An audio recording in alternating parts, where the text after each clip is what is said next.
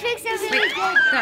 Now you, do it. Mrs. Newey, your tricks are really good. You you said that this was money inside I instead didn't of say money, I said writing. writing. Wait, that, that was confusing. And um, and then it was actually a note from my mom and dad. So that's kind of confusing. No wonder you're confused if you It is. money. Yes, it is.